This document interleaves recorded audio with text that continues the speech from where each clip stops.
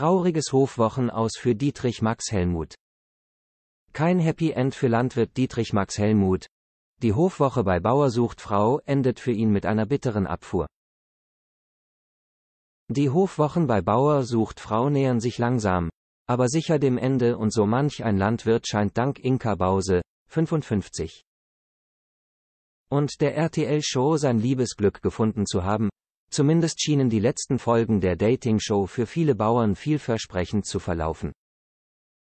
Bei Dietrich Max Helmut, 70, sieht es aber leider ein bisschen anders aus, denn Hofdame Susanne, 61, erteilte dem 70-Jährigen in Folge 8 eine bittere Abfuhr.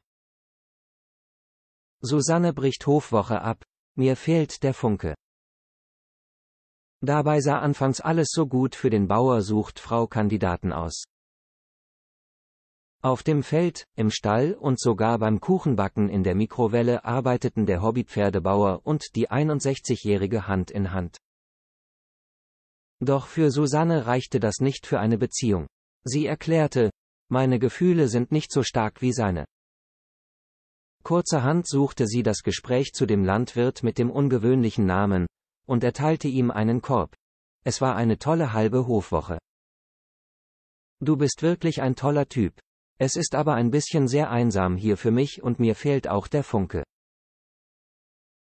Die Enttäuschung stand dem RTL-Junggesellen ins Gesicht geschrieben, doch ihm blieb letztlich nur, Susannes Entscheidung anzunehmen.